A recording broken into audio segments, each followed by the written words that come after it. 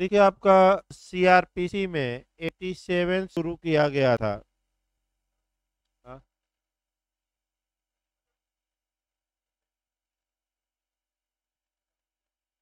हाँ।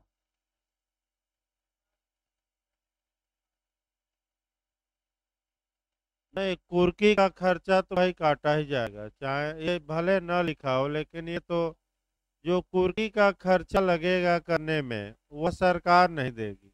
आपको चाहे अभियुक्त हो या उद्घोषित व्यक्ति से भिन्न हो।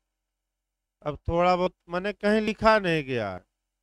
आपका ये सही बात है कि इस बारे में कहीं स्पष्ट प्रावधान नहीं है। अब ये है कि कोई केस हो या कोई प्रावधान हो तो हम भी एक बार देख लेंगे। मैंने ये नहीं कि हम क्लियर बता रहे हैं भाई। लेकिन एक बार इस बात को हम भी देख लेंगे, तब फिर कर और स्पष्ट करेंगे।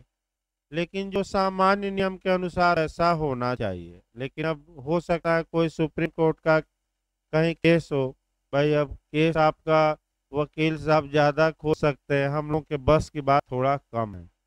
क्योंकि हम लोग आपका किताब में केस देखते हैं, और वकील साहब जो प्रैक्टिस कर रहे हैं, वो पूरा ए आई आर तमाम केस देखते हैं। भाई, जो लोग प्रैक्टिस कर रहे हैं, उनका भी दायित्व है।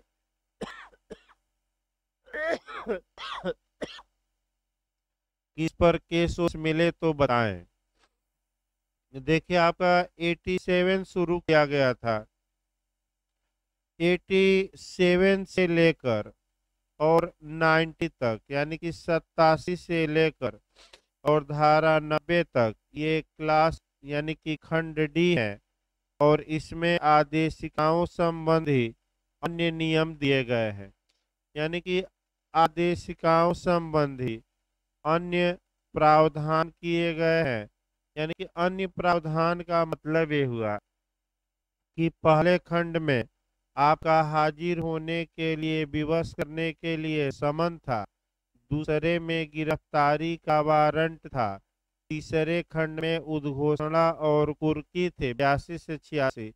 और ये इसी चैप्टर अध्याय छ में, जो चौथा खंड हम शुरू कर रहे हैं, वह मिसलेनियस है, यानी कि छूटे फट के प्रावधान इस क्लाज में है।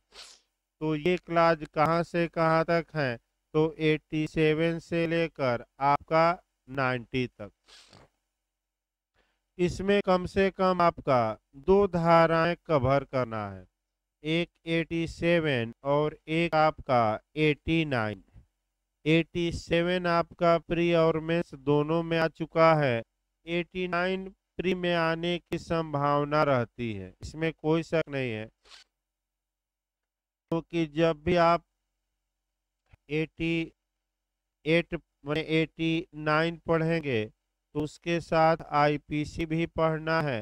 एक नई धारा जोड़ी गई है 2005 में, एक सौ उनतीस A one twenty nine A उसको हम बताएँगे अभी कोरलेट करके। आपका 87 प्री में भी आ चुकी है और मेंस में। तो इसकी पहले भूमिका देखिए, तब आगे बढ़ा जाए भाई। इसकी पहले भूमिका देखिए।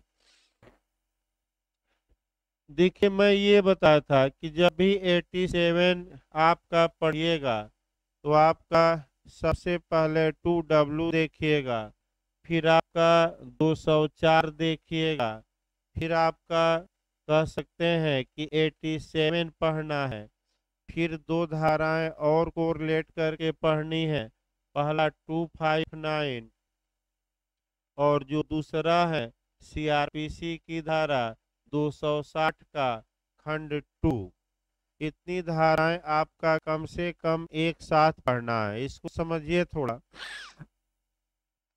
सामान्य नियम ये है कि समन मामलों में किसी अभियुक्त या गवाह को बुलाने के लिए, यानी कि किसी एक्यूड या विटनेस को एपियर कराने के लिए, अगर मामला समन मामला है, यानी कि मैटर समन मैटर है तो जनरली क्या जारी किया जाता है? समन। मैं समन जारी किया जाएगा। तो समन किस मामले में जारी होता है? समन मामले में। समन मामले की डिफिनीशन किस धारा में दी गई है? टू डब्ल्यू में। समन मामला वह मामला होता है जो अपराध से रिलेटेड हो और जो आपका वारंट मामला न हो। तो बताइए परिभाषा निगेटिव दी गई है कि पॉजिटिव निगेटिव यानी कि जो वारंट मामला नहीं होगा, वही कौन सा मामला होगा? समन। तो वारंट मामला कॉमन नहीं है। इसके लिए आपका टू एक्स में जाना पड़ेगा। सीआरपीसी की धारा टू एक्स ये बताती है कि ऐसा अपराध जिसमें सजा, मृत्युदंड हो, आजीवन कारावास हो या दो वर्ष से अधिक का कारावास हो वह वारंट मामला माना जाएगा। तो इसके अलावा अब जो बचेगा, वह कैसा मामला होगा? समन। तो बचा क्या? तो ऐसे मामले जिसमें दंड दो वर्ष हो, या दो वर्ष से कम हो, या केवल जुर्माना हो, ऐसे मामले कौन से मामले माने जाएँगे? समन। भाई यही तो बचा। वारंट मामले के अलावा बचा क्या? यही यानी कि एक कटेरिया बना लीजिए। मैंने एक आपका तरीका। दो वर्ष से अधिक सजा है तो वह वारंट मामला। और दो वर्ष या दो वर्ष से कम की सजा है तो वह कौन सा मामला? समन। पूछा भी जा चुका है अब आइए। अब सामान्यतः समन मामलों में न्यायालय किसी व्यक्ति को एपीयर कराने हेतु समन जारी करता है। तो आदेशिका की धारा में जारी होती है, यानी कि समन मामलों में समन किस धारा के तहत जारी होता है, इशू होता है। तो आपका जवाब रहेगा धारा 204 अभी हम आएँगे। लेकिन धारा 204 में एक और पॉइंट है न्यायालय उचित समझे। तो 204 वन बी। यानी कि खंड वाइज याद रखिएगा 204 वन बी। में न्यायालय अगर उचित समझता है तो वारंट मामलों में भी गिरफ्तारी का वारंट जारी न करके समन जारी कर सकता है। फिर एक बार देखिए, सीआरपीसी की धारा 204 वन बी बताती है कि न्यायालय अगर उचित समझे तो वारंट मामलों में गिरफ्तारी का वारंट न जारी करके क्या जारी कर सकता है? समन। यानी कि वारंट मामलों में क्या समन जारी हो सकता है कि नहीं? तो आप कहिएगा हो सकता है। फिर पूछे, कहाँ प्रावधान है? तो 204 वन बी। इसके उल्टा भी पूछेगा कि समन मामलों में गिरफ्तारी का वारंट जारी हो सकता है कि नहीं? हो सकता है। ये कहाँ प्रावधान है? तो ये तो धारा पढ़ाई जाएगी 87 फिर एक बार इसको देखिए भाई, उल्टा लोग जानते हैं। वारंट मामलों में समन जारी किया जाना, ये 204 one B.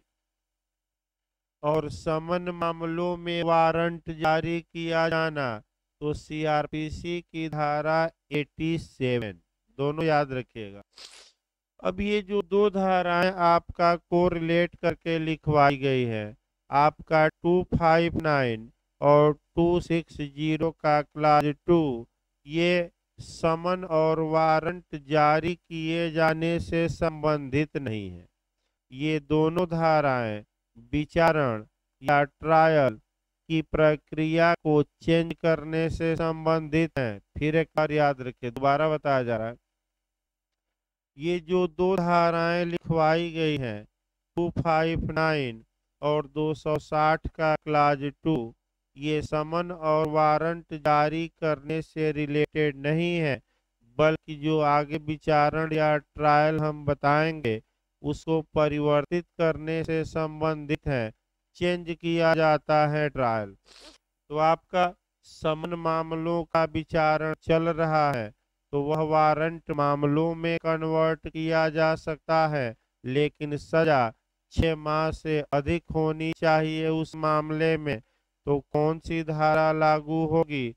Two five nine.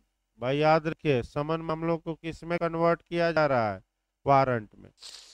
और धारा 260 का खंड दो बताता है कि अगर मजिस्ट्रेट को ये लगता है कि किसी मामले का संक्षिप्त विचारण, यानी कि समरी ट्रायल यानी कि जल्दी से जल्दी सुनवाई करके फैसला देना उचित नहीं होगा।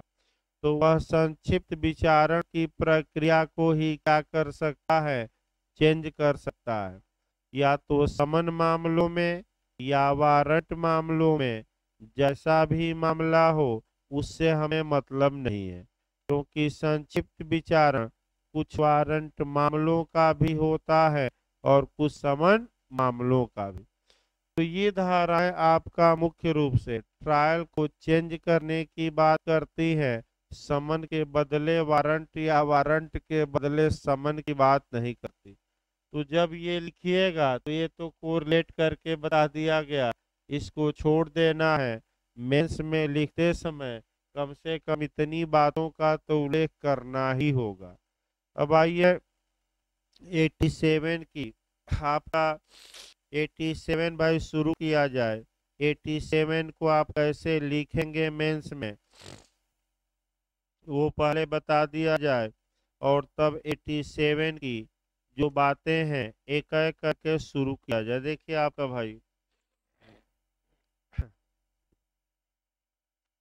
आपका प्रश्न ये बनेगा, प्रश्न बनाइए कि उन परिस्थितियों का वर्णन करिए जिसमें समन के स्थान पर या समन के अतिरिक्त गिरफ्तारी का वारंट जारी किया जा सकता है। फिर एक बार याद रखें। उन परिस्थितियों का उल्लेख करिए जिसमें समन के स्थान पर या समन के अतिरिक्त आपका गिरफ्तारी का वारंट जारी किया जा सकता है। ये आपका प्रश्न बनेगा। तो आपको इस प्रश्न का उत्तर में भूमिका में आपका कैसे लिखना है, पहले ये देखिए। भूमिका में आप ये दिखाएँगे कि सामान्यतः समन मामलों में न्यायालय किसी व्यक्ति को एपियर या उपसंजात या हाजिर कराने हेतु। समन जारी करता है, लेकिन यह हाँ समन जारी करता है।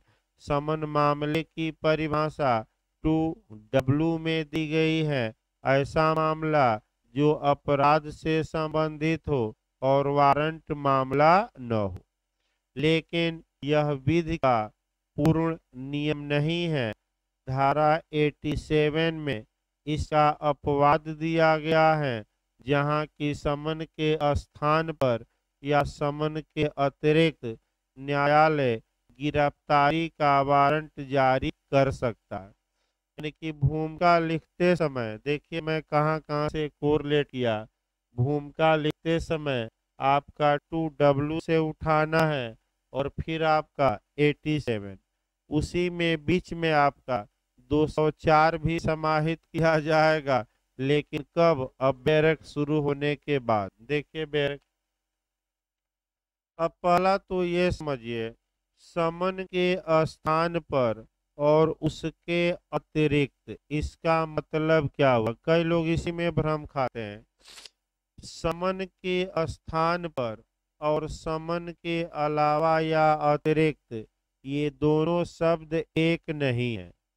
जैसे कि आपका और भी पूछा जाता है कि संज्ञेय अपराध और संज्ञेय मामला, यानी कि कांगनिजेबुल ऑफेंस और कांगनिजेबुल मैटर एक है कि अलग अलग है, ये बिहार के जे के इंटरव्यू में भी कई लोगों से पूछा गया। तो एक नहीं है, बल्कि अलग अलग है। आपका मामला मतलब कि पूरी घटना और किसी घटना में जो जो अपराध हुए हैं, वह अलग अलग अपराध होंगे और पूरे मामले को, पूरी मने मामले, पूरी घटना को हम क्या नाम देंगे? मैटर या मामला। तो उसी प्रकार सतर्क रहना है। जो ये समन के स्थान पर और समन के अतिरिक्त शब्द हेडिंग में लिखा गया है, इसका मतलब अलग अलग है। इसका मतलब ये हुआ कि समन के स्थान पर का मतलब ये हुआ कि न्यायालय समन मैटर में समन जारी न करे, बल्कि डायरेक्ट क्या जारी कर दे, गिरफ्तारी का वारंट। फिर एक बार देखिए भाई, समन के स्थान पर का मतलब ये हुआ कि न्यायालय को ये शक्ति प्राप्त है कि मामला समन मामला है। तो समन मामलों में समन जारी ही न करे, डायरेक्ट कौन सा वारंट जारी कर दे, गिरफ्तारी का। यह स्थान पर आया। समन के अतिरिक्त का मतलब ये हुआ कि समन जारी किया गया था और व्यक्ति समन पर हाजिर ही नहीं हुआ तो समन के अतिरिक्त न्यायालय उसके अलावा क्या जारी कर सकता है? गिरफ्तारी का वारंट। यानी कि ये एक अभियुक्त था। समन मैटर था समन जारी हुआ। ये समय पर कोर्ट में आया ही नहीं तो न्यायालय के पास क्या विकल्प है बुलाने के? तो 87 में विकल्प है, क्या जारी करे? गिरफ्तारी का वारंट। फिर बताइए, अगर गिरफ्तारी का वारंट जारी किया गया और वह फरार हो गया या अपने को छुपा रहा है जिसके कारण वह गिरफ़्तार नहीं हो पा रहा है तो अगला का क्या उपाय है? उद्घोषणा। और उसके बाद क्या उपाय बता गया था कुर्की अब क्वेश्चन ये भी इंटरव्यू में बन सकता है कि क्या समन मामलों में उद्घोषणा और कुर्की हो सकती है कि नहीं? हो सकती है। क्रम से आइए। समन जारी किया गया नहीं आया। तब क्या जारी किया गया? गिरफ्तारी का वारंट। फरार हो गया या भाग गया, छुपा लिया अपने को, फिर बयासी में क्या जारी की गई उद्घोषणा और फिर तिरासी में क्या किया गया, उसकी संपत्ति को चल या अचल संपत्ति को पूर्क करने का आदेश दिया गया, यानी कि प्रोकोमलेशन एंड अटैचमेंट समन मामलों में भी जारी किया जा सकता है। ये ना कह दीजिए केवल वारंट मामले। अब आपका बेयर एक्ट देखिए भाई। दो प्रावधान है अच्छे से मेंस के लिए भी तैयार रखिए। बेयर एक्ट देखिए।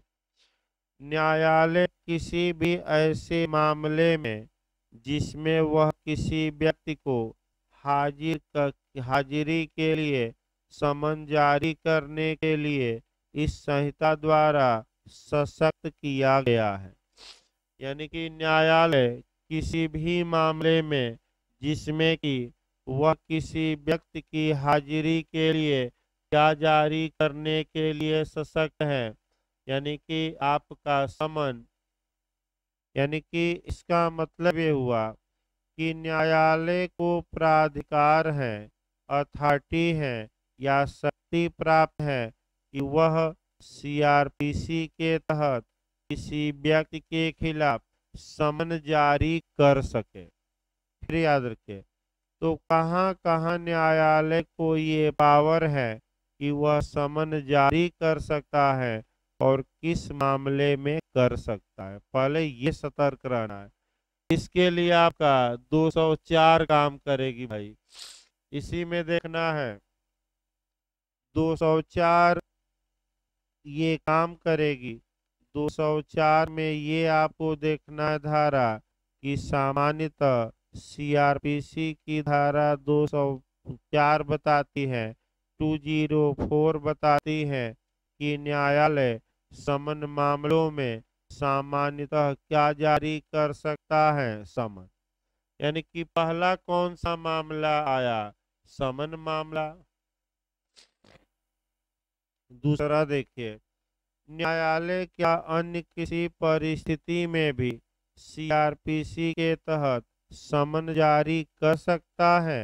तो अभी बताया गया कि न्यायालय धारा 204 वन बी के तहत वारंट मामलों में भी अगर उचित समझे तो गिरफ्तारी का वारंट न जारी करके क्या जारी कर सकता है? समन। फिर एक बार याद रखिए। क्या वारंट मामलों में समन जारी करने की शक्ति कोर्ट को प्राप्त है कि नहीं, पूछ ले तो है। इक्कीस धारा में धारा तैयार करके जाए, दो सौ चार, वन बी। स्पष्ट लिखा गया, हम अपने से नहीं। फिर एक बार देखिए भाई बेर की भाषा।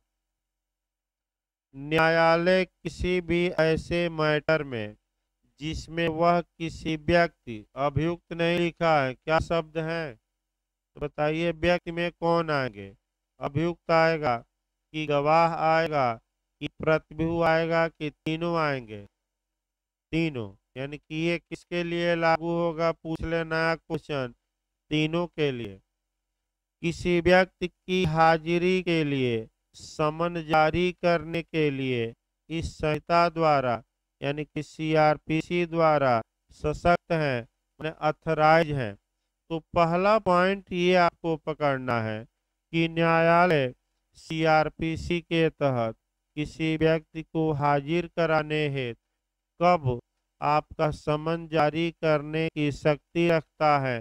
तो पहला नियम हुआ कि समन मामलों में और दूसरा नियम भी आया कि वारंट मामलों में भी न्यायालय उचित समझे तो गिरफ्तारी का वारंट जारी न करके क्या जारी कर दे? समन।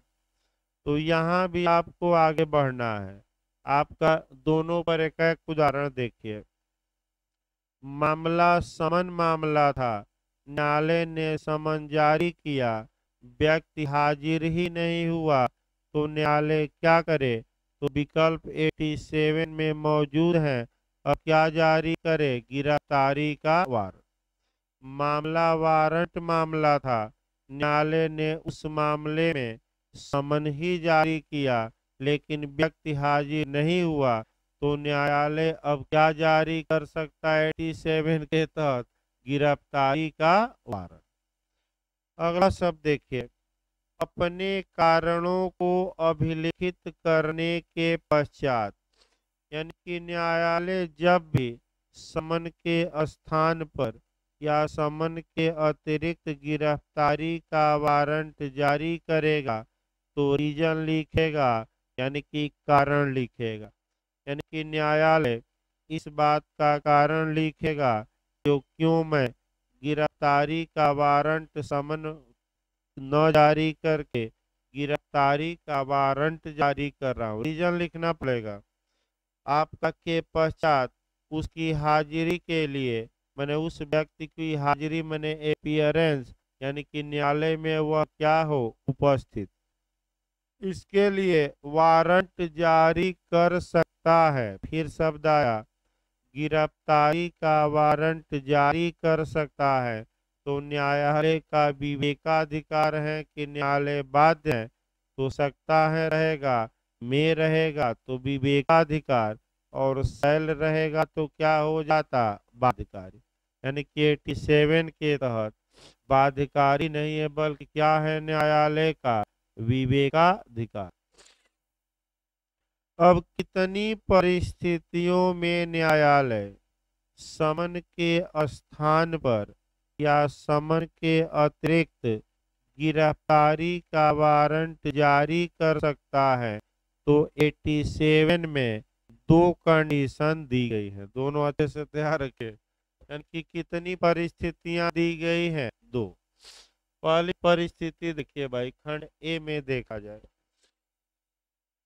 यदि या तो ऐसा समन जारी करने के पहले या पश्चात, इसका मतलब पहला खंड ही बताता है, या तो ऐसा समन जारी करने के पूर्व, यानी कि न्यायालय आपका समन जारी ही न करे और समन न जारी करके उसके पहले ही क्या जारी कर सकता है? पर तो क्या समन मामलों में समन जारी करना बाध्यकारी है? तो आपका जवाब रहेगा नहीं, क्योंकि समन मामलों में न्यायालय समन जारी न करके उसके पहले यानी कि क्या जारी कर सकता है?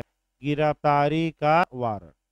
इसको कहा जाता है समन के स्थान पर गिरफ्तारी का वारंट जारी करना, यानी कि समन जारी ही नहीं किया, यानी कि अगर न्यायालय को ये लग गया कि व्यक्ति इतना बदमाश है, इतना दुष्चरित्र है, इतना आपका मन बैड करेक्टर वाला है, ये समन जारी करने पर टसकेगा नहीं, यानी कि हिले डुलेगा नहीं, यानी कि कोर्ट में क्या होगा, आएगा नहीं।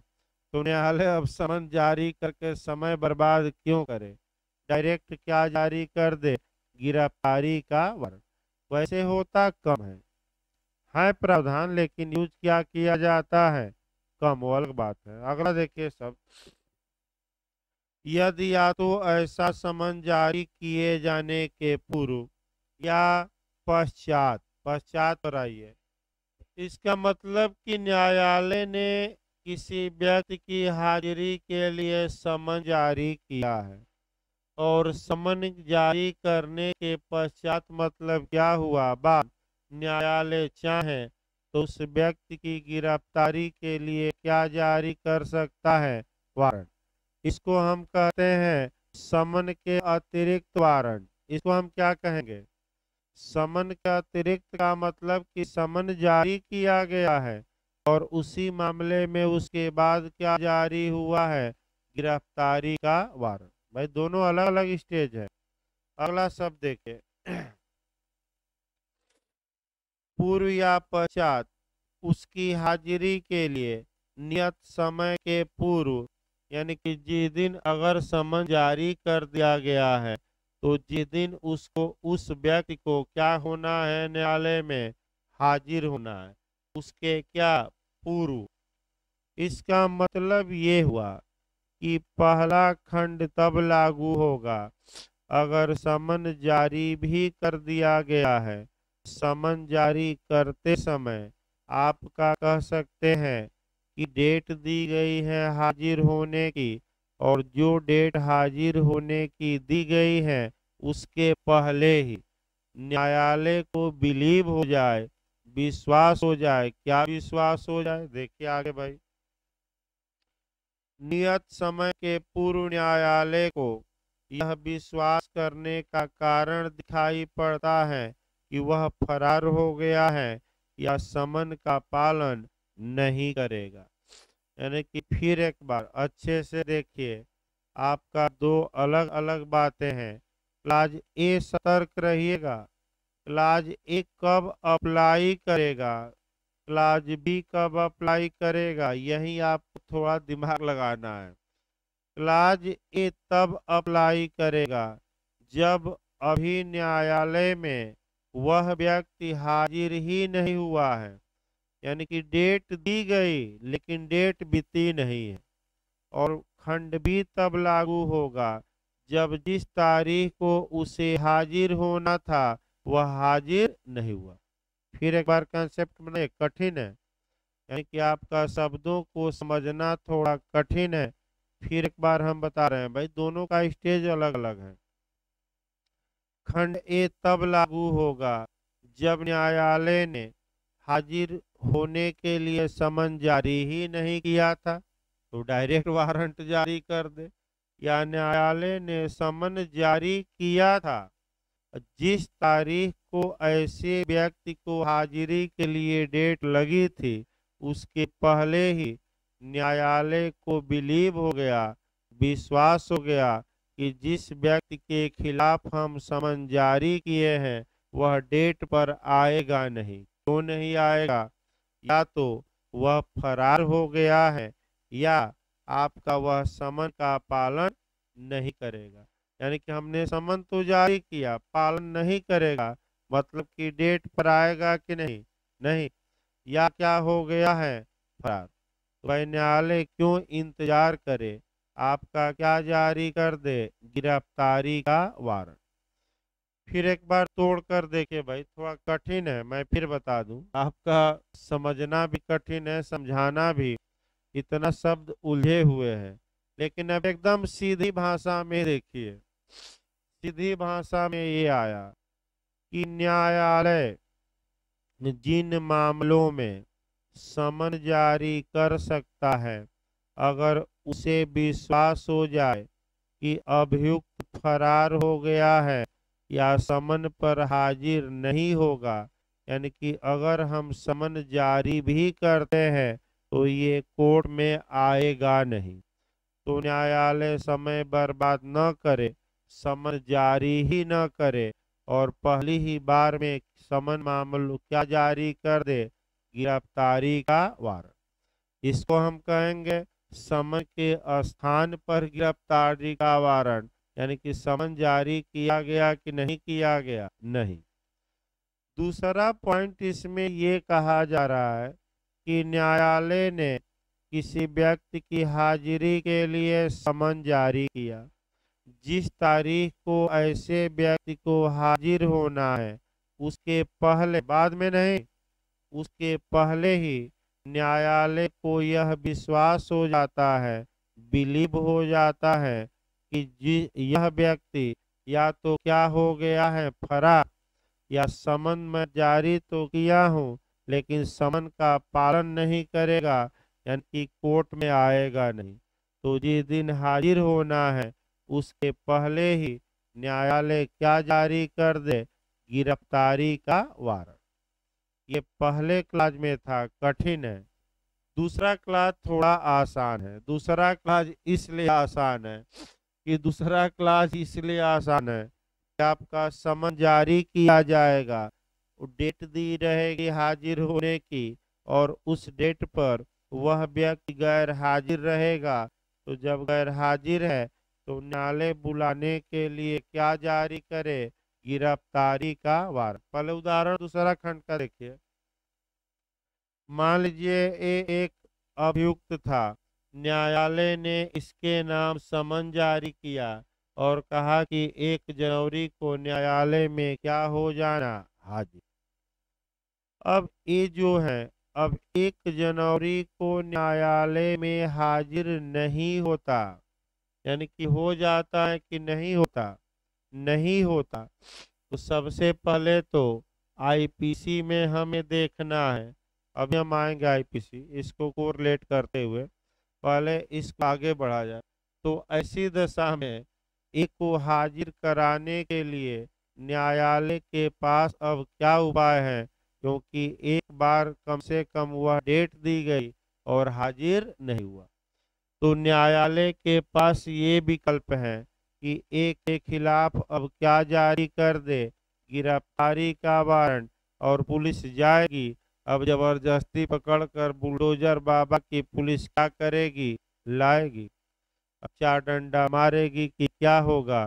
अब कोई भरोसा नहीं, क्योंकि मन बढ़ गया है। इसके कारण? बुलडोजर बाबा के कारण। यानी कि मानवाधिकार का उल्लंघन करने में एक नंबर पर कौन इस समय चल रही है? UP police. इनकाउंटर में भी एक नंबर पर देश में कौन है? UP police. सुप्रीम कोर्ट बार बार कह रहा है कि ऐसा न हो। यानी कि ये तो रूल ऑफ़ लॉ का क्या है? वायलेशन। लेकिन बाबा जी सुन नहीं रहे हैं। पुलिस छूट दिए हैं कि क्या करो ठुक। के ऊपर पहुँचा दो या तो भाग जाओ प्रदेश छोड़कर, या सरेंडर कर दो, या कहाँ पहुँच जाओ।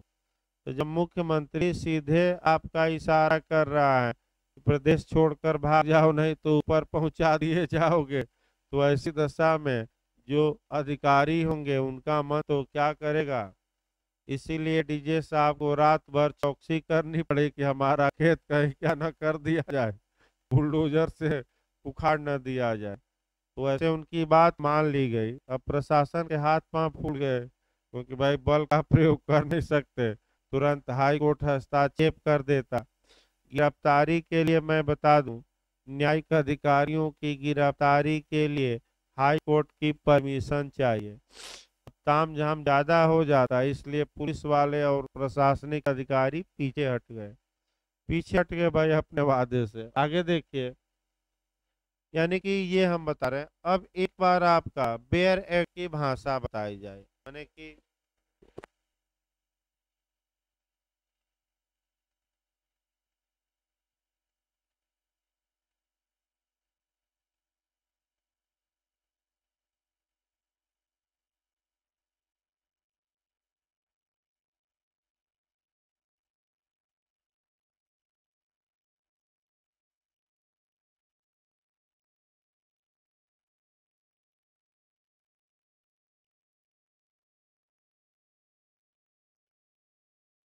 देखिए, फिर एक बार भाई आपका देखिए, ये खंड भी अब बेयर एक्ट से चला जाए अभी बेयर नहीं बताया गया।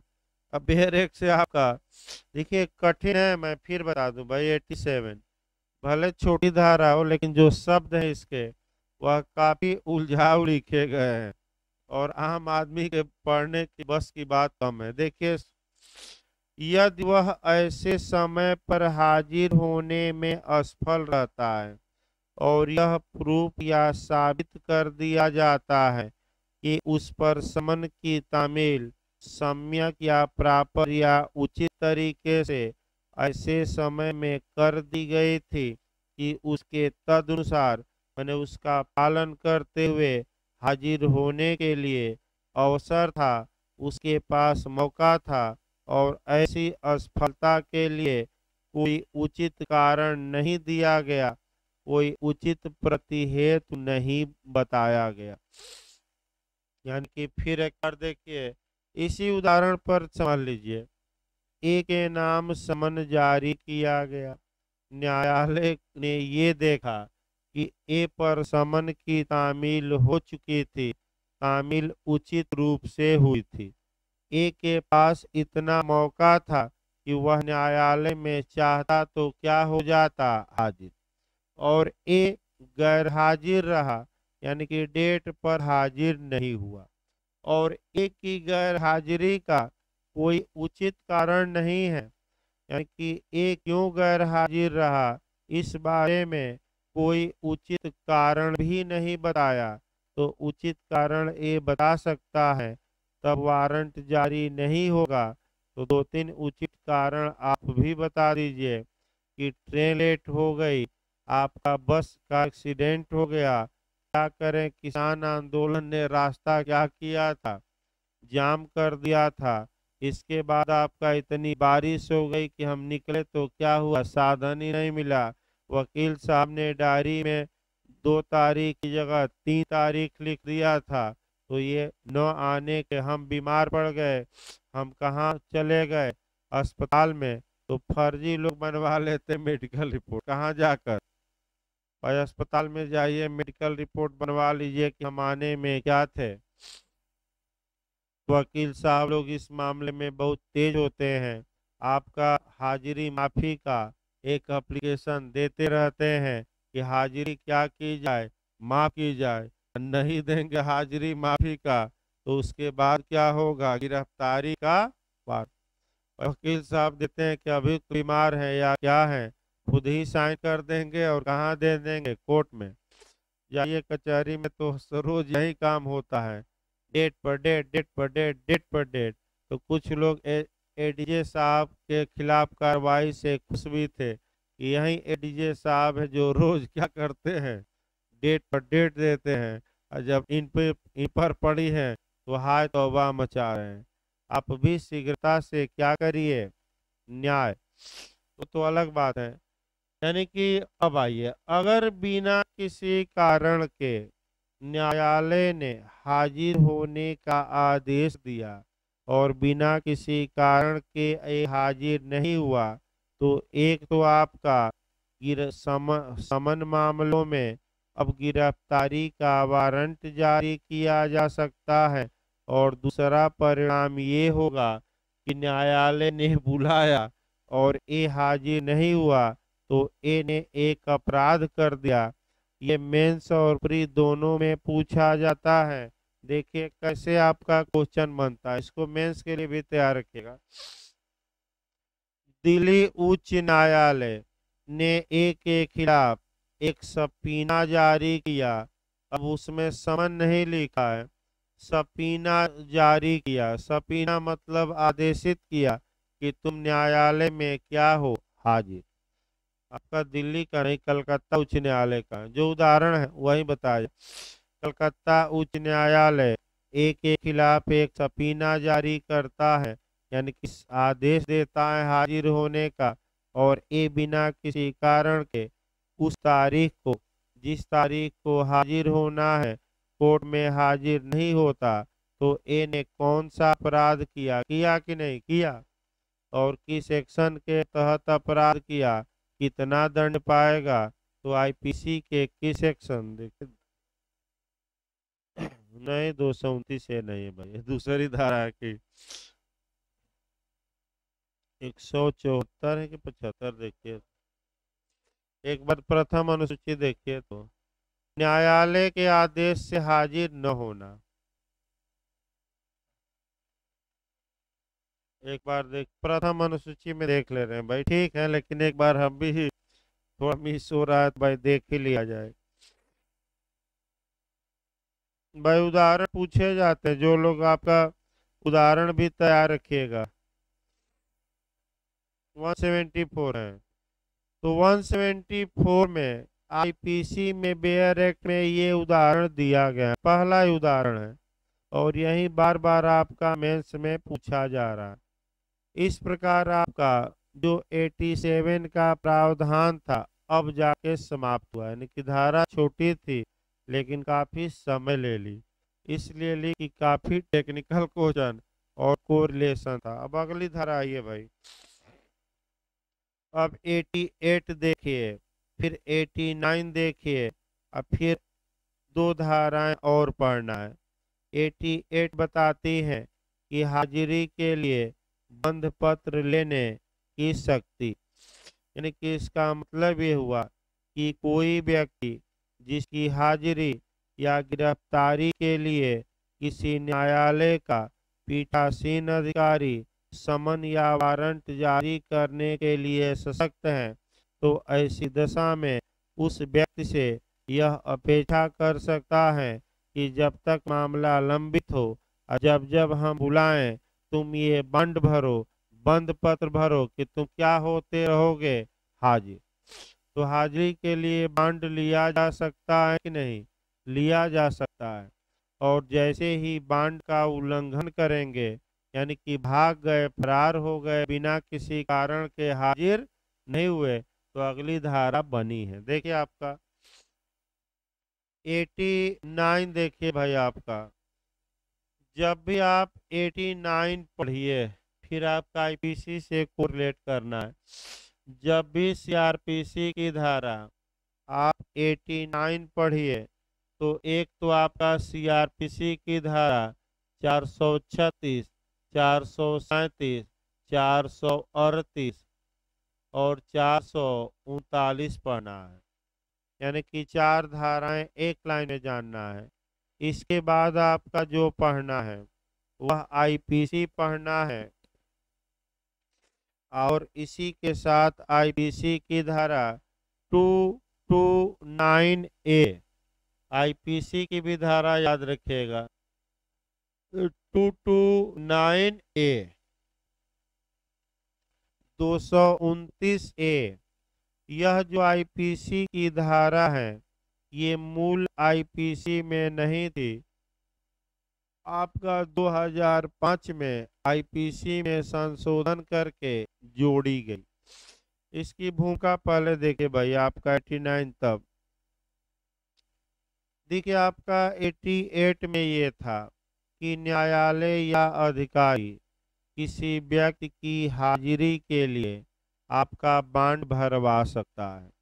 बंद पत्र भरवा सकता है। तो मान लीजिए ये एक अभियुक्त था। न्यायालय ने इस शर्त पर, इस कंडीशन पर उसे छोड़ा है, जमानत दी है कि जब जब न्यायालय बुलाएगा, तब तक तुम, तब तक, तब तब तुम हाजिर होते रहोगे और न्यायालय ने उसे जमानत दी है। यानी कि अभियुक्त बांड भरा।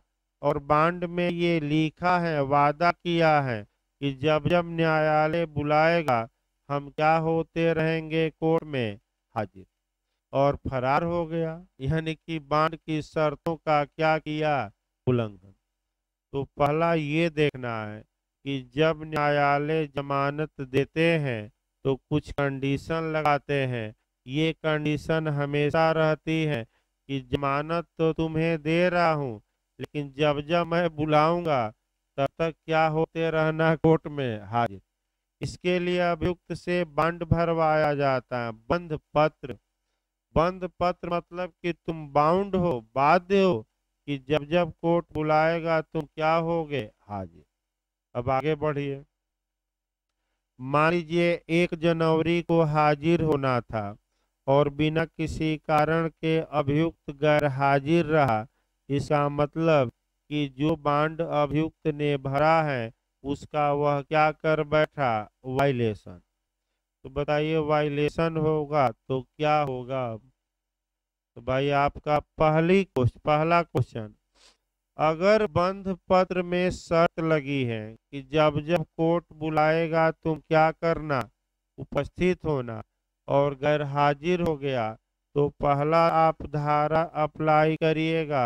सीआरपीसी की धारा 89 89 में ये बताइएगा कि अब ऐसे व्यक्ति की गिरफ्तारी के लिए गिरफ्तारी का वारंट जारी होगा और जो वह बांड भरा था उसे रद्द किया जाएगा और भेजा जाएगा जेल। यानी कि बांड रद्द, बांड जब्त, क्योंकि तुमने बंद पत्र का क्या किया? उल्लंघन। किसका वारंट जारी होगा? गिरफ्तारी का पुलिस खोजेगी। और जब आएगा तो बांड क्या किया जाएगा? भंग। मैंने बांड अब रद्द कर दिया जाएगा कि वो नहीं अब रहा? जाओ जेल। अगर हाजिरी के लिए अब यहाँ। अगर किसी व्यक्ति पर जमानत दी गई है किसी व्यक्ति को, और जमानत में कंडीशन या शर्त लगी है और वह व्यक्ति उस जमानत की शर्तों का वायलेशन करता है, उल्लंघन करता है तो वह व्यक्ति एक नया अपराध कर बैठा। और किस धारा के तहत अब अपराध है ये? आईपीसी की धारा टू टू नाइन ए दंड देखिए साल है ना दंड एक साल या जुर्माना। एक एक वर्ष का कारावास या जुर्माना या दोनों लेकिन ये कब लागू होगी? जब वह बांड की शर्तों का क्या किया है? फिर एक बार देखिए भाई। अगर किसी व्यक्ति ने हाजिरी के लिए बंध पत्र भरा है, हाजिर नहीं होता उस समय पर तो न्यायालय अब उसकी गिरफ्तारी के लिए सेक्शन 89 के तहत गिरफ्तारी का वारंट जारी करेगा। जब वह आ जाएगा पकड़कर तो बांड को रद्द कर देगा। और जैसे ही यह साबित हो गया कि यह व्यक्ति जमानत की शर्तों का या हाजिरी की शर्तों का क्या किया है, जमानत की शर्तों का उल्लंघन तो एक नया अपराध कर बैठा ऐसा व्यक्ति। वह कौन सा अपराध है? टू टू नाइन ए का। तो जमानत की शर्तों का उल्लंघन करना वर्तमान में अपराध है और सेक्शन याद रखिए कौन सा है? दो सौ उनतीस A I P C. C R P C नहीं। अभी आपका भाई सी आर को पेश करने के लिए न्यायालय आदेश देता है कि आप इसे पेश करिए। तो आपका यानी कि आपका अध्याय छ में ये था कि व्यक्तियों को न्यायालय में हाजिर कराने के लिए, विवश करने के लिए आदेशिका जारी किया जाता था, जिसमें हमने बताया समन है, गिरफ्तारी का वारंट था और उद्घोषणा और कुर्की। इसके बाद चैप्टर सेवन में आपका चीज़ें पेश करने के लिए आपका आदेश दिया जाता है कि कोई वस्तु है, कोई चीज़ है, कोई सामान है, कोई डॉक्यूमेंट है तो ऐसा व्यक्ति न्यायालय में पेश करे, यानी कि कोर्ट में पेश करे। इसके लिए जो प्रावधान है, आपका 91 से लेकर 105 तक है, यानी कि इक्यानवे से लेकर आपका 105 तक है। तो जो वस्तुएँ पेश कराई जाएँगी, खंड वाइज दिया गया है, दो धाराएँ 91 और 92 जब सर्च वारंट जारी होगा, यानी कि वस्तु या व्यक्ति की तलाशी तो आपका 93 से 98 इसके बाद आपका 100 से और 105 तक कुछ मिसलेनियस बातें हैं, यानी कि इधर से जो पिछली बार यूपीएपीओ में आपका इसके पहले वाले में क्वेश्चन आया था, वह पहले बता दिया जाए। प्री में जो क्वेश्चन आया था, आपका एक नाइन्टी थ्री से आया था, दूसरा नाइन्टी सेवन से आया था, और फिर आपका वन ज़ीरो फोर से आया था। यानी कि आपका इधर से क्वेश्चन बनते रहते हैं मेंस में भी यहाँ से क्वेश्चन बनता है। पहला तो सर्च वारंट या खोज वारंट या तलाशी वारंट पर। दूसरा आपका यूपीएपीओ में बना है कि बंद स्थान की तलाशी कैसे ली जाएगी। तीसरा भी क्वेश्चन आपका बना है कि पुलिस संपत्तियों को कैसे जब्त करेगी और उसके बाद उसका निस्तारण कैसे किया जाएगा। यानी कि शुद्ध रूप से इधर मेंस में भी आपका तीन क्वेश्चन बनते हैं। भाई बिहार आपका सर्च वारंट को खोज वारंट लिखता है। दो तीन लोग आप करा कर पूछ रहे थे कि ये खोज वारंट क्या है? तो खोज मतलब तलाशी वारंट, यानी कि न्यायालय आदेशित करता है कि पुलिस वाले इस चीज़ या व्यक्ति को तलाश करें और तलाश करके कोर्ट में क्या करें? प्रस्तुत। भाई आपका चीज़ें पेश करने को विवश करने के लिए जो आदेशिकाएँ हैं, पहले कोरिलेट कर लिया जाए, उसके बाद सेक्शन वाइज शुरू होगा। सीआरपीसी में इक्यानवे से लेकर 105 तक आप पढ़ेंगे। 104 105 तक, जहाँ की चीज़ों को पेश करने के लिए किसी व्यक्ति को विवश किया जाता है। इसके बाद आपका आईपीसी में देखना है कि अगर किसी व्यक्ति को कोई दस्तावेज़ पेश करने के लिए आदेशित किया गया और वह व्यक्ति उस दस्तावेज़ को पेश नहीं करता तो क्या वह अपराध कोई करेगा कि नहीं? यानी कि पेश न करना अपराध माना जाएगा कि नहीं? दूसरा एंगल ये देखना है तीसरा एंगल आपका देखना है, संविधान में देखना है क्या उच्चतम न्यायालय भारत के किसी भी व्यक्ति से कोई दस्तावेज़ पेश कराने का आदेश दे सकता है कि नहीं? तो सुप्रीम कोर्ट को फुल पावर है और वह अनुच्छेद पढ़ना है संविधान का 142 यानी कि 142 इसके बाद आपका सीआरपी इसके बाद आपका जो पढ़ना रहता है, आपका एविडेंस में पढ़ना रहता है कि क्या भारतीय साक्ष्य अधिनियम में ऐसा कोई प्रावधान है जो न्यायालय को ये शक्ति देता है कि न्यायालय किसी व्यक्ति से कोई डॉक्यूमेंट पेश कराने का आदेश दे सकता है कि तुम पेश करो? तो जब साक्ष्य अधिनियम पढ़िएगा तो मुख्य रूप से 162 यानी कि दस्तावेजों का पेश किया जाना न्यायालय आदेशित कर सकता है कि आप इस दस्तावेज़ को क्या करिए पेश। इसके बाद सिविल मामलों में लास्ट में देखना है कि क्या सिविल मामलों में कोर्ट के पास ये पावर सीपीसी में है कि नहीं, कि वह किसी व्यक्ति से कह सके वह कोई डॉक्यूमेंट पेश करे हैं और वह पावर सीपीसी की किस धारा में है? तीस में। और अगर वह व्यक्ति उस दस्तावेज़ को पेश नहीं करता तो ऐसा व्यक्ति सजा का हकदार होगा, दंड पाएगा और किस धारा में दंड है सीपीसी में? थर्टी टू यानी कि इसका मतलब ये हुआ कि जब भी आप इक्यानवे से लेकर आपका 105 तक पढ़िएगा। तमाम चीज़ें को रिलेट भी करनी है और वह आपका कोरिलेशन आपका होगा बीच बीच में।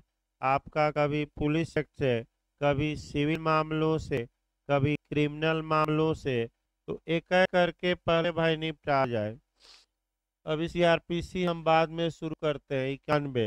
आपका पहले ये सब हो जाए तब एक एक लाइन। देखिए, भारतीय साक्ष्य अधिनियम की धारा एक सौ बासठ। एक और आपका पूछा जाता है भाई। एविडेंस की धारा 139 है। हाँ? 139 है। चलिए, इसको देखा जाएगा पहले इतना देखिए, उसके बाद आपका आएगा बीच में अभी। बेयर एक्ट में आएगा तो कुछ धाराएँ अभी कोरिलेट करनी पड़ेगी। आपका एविडेंस की धारा दो धाराएँ और पढ़नी पड़ेगी। आपका 123 और 124 तो बेयर एक्ट से हम कवर करेंगे। क्योंकि बेयर एक्ट में उन धाराओं का उल्लेख रहेगा तो उसी समय उन धाराओं को क्या किया जाएगा? डिटेल में बताया जाएगा। अब पहले कंसेप्ट एक करके बनाइए। भारतीय साक्ष्य अधिनियम की धारा 162 में यह प्रावधान किया गया है कि न्यायालय किसी व्यक्ति से कोई डॉक्यूमेंट या कोई दस्तावेज़ पेश करने का आदेश दे सकता है, अर्थात न्यायालय किसी व्यक्ति को आदेश दे सकता है कि जो उसके पास डॉक्यूमेंट या दस्तावेज़ है वह न्यायालय में तुम क्या करो? पेश। तो कौन सी धारा में ये पावर है? आपका एविडेंस की धारा एक सौ बासठ। ये हटा दीजिए आइए संविधान देखा जाए। भारतीय संविधान के अनुच्छेद 142 में उच्चतम न्यायालय को ये शक्ति प्राप्त है। लिखा गया है कि उच्चतम न्यायालय भारत के किसी भी व्यक्ति से कोई डॉक्यूमेंट या कोई दस्तावेज़ पेश करने के लिए आदेशित कर सकता है। यानी कि उच्चतम न्यायालय यह आदेश दे सकता है, भारत के किसी भी प्राधिकारी, किसी भी व्यक्ति को कि वह कोई डॉक्यूमेंट सुप्रीम कोर्ट में क्या करे पेश। अगर कोई व्यक्ति इसका उल्लंघन करता है, पेश नहीं करता तो कंटेम्प्ट ऑफ़ कोर्ट के लिए वह दंडित होगा। 142 में भी दिया गया है कि सुप्रीम कोर्ट अपने अवमान या कंटेम्प्ट के लिए क्या दे सकता है? सजा। एक दो उदाहरण इस पर भाई बनाया जाए आपका। हाई कोर्ट का भी पावर है। देखिए, आपका दो उदाहरण हम बता रहे हैं, दो या तीन, थोड़ा समझने के लिए। पहला आपका हाई कोर्ट का ही बताया जाए, इलाहाबाद हाई कोर्ट का। आयोग लगातार क्वेश्चन गलत आपका कंपटीशन में दे रहा था। कभी दस क्वेश्चन, कभी बारह क्वेश्चन। लड़के आपत्ति किए हाई कोर्ट में। हाई कोर्ट ने पूछा, इतनी गलतियाँ क्यों हो रही है? तो हाई कोर्ट ने कहा कि आपका एक्सपर्ट कौन है? एक्सपर्ट का नाम बताइए। तो आयोग ने कहा कि नहीं बताएँगे। ये गुप्त मामला है, यानी कि राज को क्या रहने दिया जाए? राज। तो हाई कोर्ट ने यह कहा कि हमें तो बताइए, हम कहाँ ओपन कर रहे हैं? भाई आदेशित किया कि आप दो घंटे के अंदर बंद लिफाफे में जो आपका एक्सपर्ट है, जो ये गलत सही क्वेश्चन गलत गलत निकाल रहे हैं बना रहे हैं, उनका नाम बताइए। तो आयोग बौखला गया, दो घंटे के अंदर आयोग के वकील ने बंद लिफाफे में नाम दिया। अब यह है कि जब नाम दे दिया तो क्या उन नामों को ओपन किया जाएगा कि परिबद्ध कर लेगा न्यायालय जो लिफाफा में दिया गया आपका पैक करके? तो बताइए, अगर ओपन होगा तो लोग एक्सपर्ट के पहुँच जाएँगे पहले कि कौन सा क्वेश्चन गुरुजी बनाए थे, दो चार बता देते तो हमारा क्या हो जाता? नाम देखिए, हाई कोर्ट ने मंगाया मंगा कर देखा, लेकिन देखकर आपका किसी विपक्षी को नहीं दिया। न ही रिकॉर्ड में रखा, अपने पास जब्त कर लिया। उसको कहते हैं, इम्पाउंड करना। इम्पाउंड मतलब परिबद्ध करना। परिबद्ध मतलब क्या करना? अपने पास रख लेना। तो क्वेश्चन आपका पिछली बार एपीओ का, कि क्या आपराधिक न्यायालय अपने समक्ष पेश की गई डॉक्यूमेंट को इम्पाउंड या परिबद्ध या जब्त कर सकता है कि नहीं? कर सकता है। सेक्शन हम आगे बताएँगे, लेकिन एक बार बता दिया जाए, भूमिका में 104 में है 100 सीआरपीसी की धारा 104 ये चुका है क्वेश्चन अच्छे से तैयार रखना है। इसको जब पढ़ाया जाएगा तो दो तीन धाराएँ और पढ़नी है। इसके बाद आपका सीपीसी में भी ये नियम है, वो भी कोलेट करना है। अब आगे बढ़ा जाए इसके। इसका मतलब ये हुआ, एक, ये तो हाई कोर्ट का उदाहरण है सुप्रीम कोर्ट का देखा जाए भाई, दस्तावेज़ पेश कराने के बारे में। सुप्रीम कोर्ट में ये हुआ, अभी आपका सरकार ने नहीं किया, पेगासस का मामला ही है कि सुप्रीम कोर्ट ने कहा कि दस्तावेज़ पेश करिए। सरकार ने कहा कि हम दस्तावेज़ पेश नहीं करेंगे। ये देश की सुरक्षा से जुड़ा मामला है।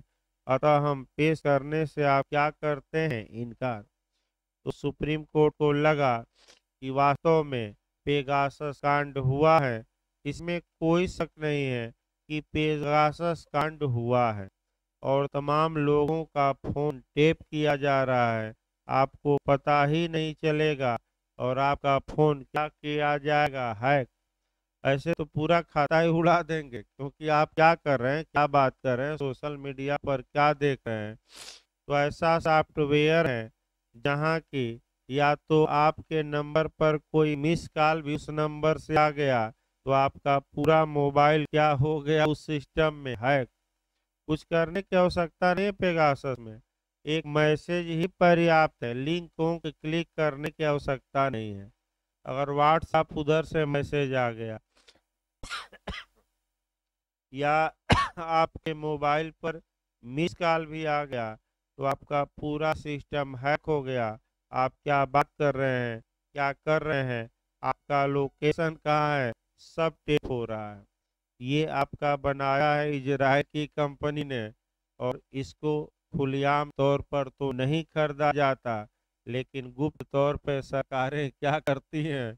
अब कितना पैसा लगा राफेल में? कहाँ सरकार बता रही थी? तो पप्पू ने कहा कि चौकीदार ही क्या है? चोर। और ये किसने कहा? सुप्रीम कोर्ट ने। यानी कि पप्पू यही जोड़ दिया आगे कि किसने कहा?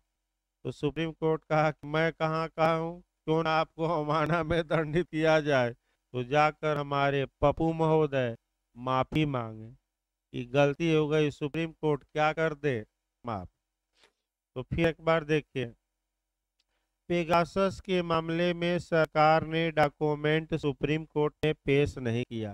तो अंत में सुप्रीम कोर्ट को आदेशित करना पड़ा। एसआईटी बनानी पड़ी, जो इसकी क्या करेगी जाँच एक मामला आया, ब्लैक मनी का भी आया।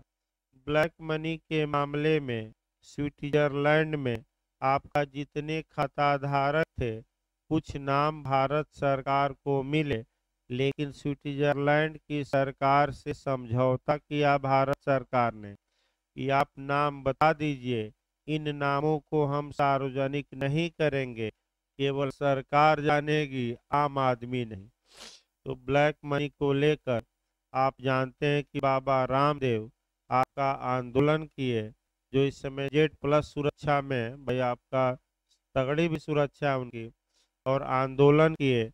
कांग्रेस वालों ने लठिया दिया अपनी पुलिस से।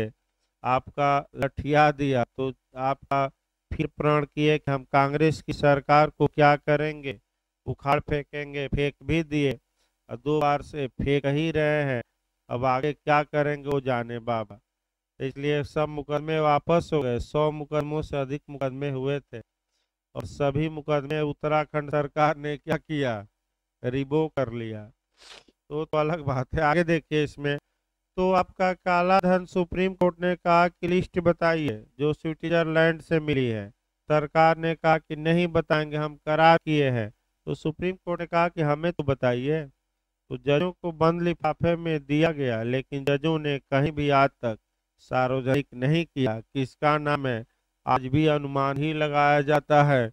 इसका नाम है? तो उसका नाम है। क्योंकि तो सरकार वचनबद्ध है। कि वह नामों को ओपन ये हमने नहीं है, किसने, किससे समझौता हमने कर रखा है? स्विट्जरलैंड से। तो इसका मतलब एक लाइन ये हुआ कि उच्चतम न्यायालय को भी शक्ति प्राप्त है कि वह किसी भी प्राधिकारी से कोई डॉक्यूमेंट क्या करे, मंगा ले। ये शक्ति किस अनुच्छेद में है? आपका 142 अब सिविल मामलों में आ जाइए भाई। सिविल मामलों में सिविल न्यायालयों को भी शक्ति प्राप्त है कि वह किसी व्यक्ति से कोई दस्तावेज़ पेश करने का आर्डर दे सकता है, आदेश दे सकता है, कोई चीज़ पेश करने का आदेश दे सकता है, यानी कि सिविल न्यायालय भी ऐसा कर सकता है। तो सीपीसी की किस धारा में आपका तीस में, और अगर आप पेश नहीं करते आदेश के बावजूद तो सीपीसी की कौन सी धारा बनी है? Thirty two. आप दंड के भागी होंगे, गिरफ़्तार करके जेल भी भेजे जा सकते हैं। आपकी संपत्ति कुर्क भी हो सकती है। इसके बाद अधिकतम कितना जुर्माना? वही रटना है। प्रतिकर की जुर्माना? हाँ अधिकतम कितना? पाँच हज़ार न्यायालय लगा सकता है। कंपसेशन नहीं, जुर्माना दंड का एक क्या है? भाग है, रूप है। तो याद रखिए, ये है। इसके बाद आईपीसी लास्ट में कोरलेट करना है कि अगर किसी व्यक्ति से ये कहा गया कि वह आदेशित किया गया कि वह कोई दस्तावेज़ कोर्ट में पेश करे और वह व्यक्ति दस्तावेज़ पेश नहीं किया तो ऐसी दशा में क्या प्रभाव होगा? क्या दस्तावेज़ पेश न करने वाला व्यक्ति सजा का हकदार होगा कि नहीं? ये जानना है। वही सेक्शन देखना पड़ वन सेवेंटी फाइव है देख लेते हैं भाई। क्योंकि तो सेक्शन देख।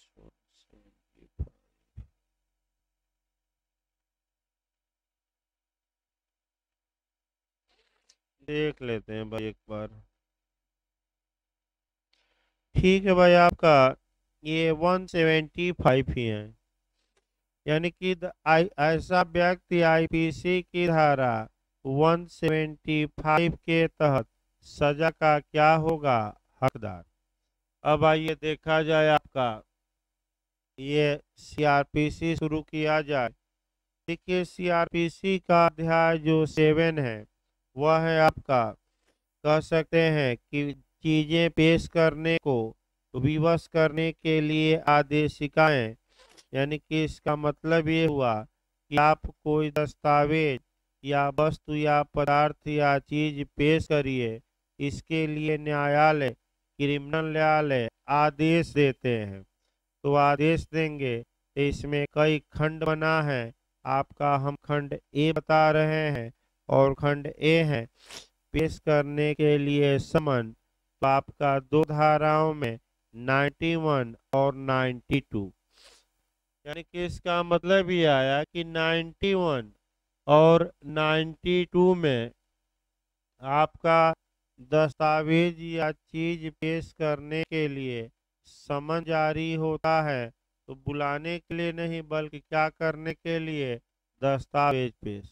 तो दस्तावेज़ पेश करने के लिए आखिर इक्यानवे और बानवे में है क्या? और दो पॉइंट यहाँ याद रखना है। वह पॉइंट ये याद रखना है कि अगर पुलिस किसी व्यक्ति को कहती है कि वह कोई दस्तावेज़ पेश करे तो पुलिस अधिकारी समन जारी नहीं करेंगे। ये क्वेश्चन आ चुका है। वह लिखित आदेश देते हैं, रिटेन आर्डर देते हैं। और अगर न्यायालय ये कहेगा, आदेशित करेगा कि कोई व्यक्ति दस्तावेज़ पेश करे तो न्यायालय क्या जारी करेगा? समन। फिर एक बार देखिए। पुलिस अधिकारी चाहता है कि वह किसी व्यक्ति से कोई दस्तावेज़ पेश कराए तो समन जारी करा दीजिएगा। क्या जारी करेगा? लिखित आदेश। और न्यायालय चाहता है तो क्या जारी करेगा? समन। अब देखिए बेरट की भाषा। 91 देखिए भाई। दस्तावेज़ या अन्य चीज़ पेश करने के लिए समन। पहला खंड देखिए।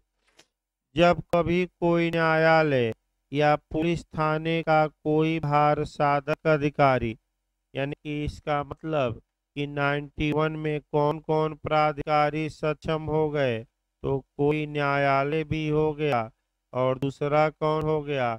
थानेदार, यानी कि थाने का भार साधक अधिकारी, यानी कि थाना प्रभारी एस एच ओ यानी कि थाने का मुखिया, गाँव का मुखिया न मार दीजिएगा। किसका मुखिया? तो थाना प्रभारी, थाने का क्या होता है? मुखिया, समझ रहे ना आप? मुखिया मतलब क्या हुआ? हाँ देखिए भाई, एकदम सही पकड़ ली। बता दें कि थाने का मुखिया मतलब कि थाने का मुख्य अधिकारी, यानी कि भार साधक अधिकारी या थाना प्रभारी या दरोगा जी है, यानी कि थाने का सिंघम, जिस पर पूरे थाने के एरिया का क्या हो भार। तो आगे देखिए भाई, थाने का कोई भार साधक अधिकारी, यह समझता है कि किसी ऐसे अन्वेषण, जाँच, विचारण या अन्य कार्यवाही के प्रयोजन के लिए इसका मतलब ये हुआ कि अगर न्यायालय या थानेदार साहब ये समझते हैं कि भाई इन्वेस्टिगेशन या विवेचना के लिए या इंक्वायरी चल रही है तो जाँच में या ट्रायल चल रहा है तो विचारण में या अन्य कार्यवाही चल रही है। उसमें कार्यवाही के प्रयोजन के लिए, पर्पज के लिए, जो इस संहिता के अधीन ऐसे न्यायालय या अधिकारी द्वारा या के समक्ष हो रही है, किसी दस्तावेज़ को या अन्य चीज़ का पेश किया जाना आवश्यक या वांछनीय है। इसका मतलब कि कोई दस्तावेज़ पेश किया जाना या कोई वस्तु पेश किया जाना आपका क्या है? वांछनीय है, यानी कि आवश्यक है। तो जिस व्यक्ति के कब्जे या शक्ति में ऐसी दस्तावेज़ या चीज़ के होने का विश्वास है, उसके नाम ऐसा न्यायालय, एक समन या ऐसा अधिकारी, एक लिखित आदेश उससे यह अपेक्षा करते हुए जारी कर सकता है कि उस समन या आदेश में उल्लिखित स्थान और समन पर उसे पेश करे, अन्यथा हाजिर हो और उसे पेश करे। यानी कि फिर एक बार देखिए, अब तोड़ लिया जाए बेहरे को। पहला नियम यह आया कि न्यायालय पर आया जाए। यदि न्यायालय को लगता है कि उसके समक्ष या उसके द्वारा भाई अन्वेषण में, जाँच में, विचारण में या अन्य कार्यवाहियों में न्यायालय को ये लगा कि कोई दस्तावेज़ न्यायालय में पेश किया जाना चाहिए। तो ऐसी दशा में न्यायालय उस व्यक्ति के नाम समन निकाल सकेगा और उस व्यक्ति से अपेक्षा कर सकेगा कि आप इस दस्तावेज़ या चीज़ को प्रस्तुत करिए या स्वयं आइए और प्रस्तुत करिए। यहाँ एक क्वेश्चन बनता है कि क्या ऐसे व्यक्ति का दस्तावेज़ लेकर स्वयं आना आवश्यक है कि आवश्यक नहीं है? आवश्यक नहीं है। वह चाहे तो स्वयं न आकर उस दस्तावेज़ या चीज़ को किससे भेजवा सकता है? दूसरे से। स्वयं आना आवश्यक नहीं। लेकिन अगर न्यायालय ने कहा है कि स्वयं आओ, तब तो भाई स्वयं आना पड़ेगा। अन्यथा अगर वह किससे भेजवा दिया, दूसरे से भी तो काम चल जाएगा। अब दूसरा भी आइए। अगर थाने का भार साधक अधिकारी है, अन्वेषण चल रहा है, जाँच चल रहे हैं, विचारण चल रहे हैं, इत्यादि कार्यवाही उसे लगता है कि कोई दस्तावेज़ या चीज़ पेश करना चाहिए उसके समझ तो ऐसे व्यक्ति के नाम वह समन तो जारी नहीं करेगा। तो उसके लिए बेरेट में क्या लिखा है? लिखित आदेश या रिटेन आर्डर तो वह रिटेन आर्डर जारी करेगा और ऐसे व्यक्ति से कहेगा कि आप इस समय पर इस तिथि पर थाने में ला कर ये दस्तावेज़ ला करिए? लाइए या स्वयं आइए और लाइए। या तो किसी से भेजवा दीजिए या स्वयं हाजिर होइए और लाइए। अब यहाँ आपका एक क्वेश्चन ये बनता है कि क्या न्यायालय अभियुक्त को इस धारा के तहत समन जारी कर सकता है या पुलिस अधिकारी आदेशित कर सकता है कि अभियुक्त के पास जो दस्तावेज़ हैं, वह दस्तावेज़ अभियुक्त लाए? नहीं कर सकता। क्यों नहीं कर सकता? क्योंकि अनुच्छेद 20 का खंड तीन यह बताता है कि कोई भी अपराध का अभियुक्त अपने ही विरुद्ध साक्ष्य देने के लिए बाध्य किया जाएगा कि नहीं? यानी कि क्या अभियुक्त से ये कहा जाएगा कि तुम अपने ही विरुद्ध दस्तावेज़ लेकर आओ जो साक्ष्य में प्रस्तुत हो? नहीं। फिर एक बार समझिए। यानी कि यह धारा अभियुक्त के विरुद्ध लागू नहीं होती, क्योंकि प्रत्येक अपराध के अभियुक्त व्यक्ति को हमारा संविधान का अनुच्छेद 20 का क्लाज तीन प्रोटेक्शन देता है कि प्रोटेक्शन अगेंस्ट सेल्फ इनक्रिमिनेशन अर्थात आत्म अपराध रोपण से संरक्षण या आत्म अभिशंसन से संरक्षण।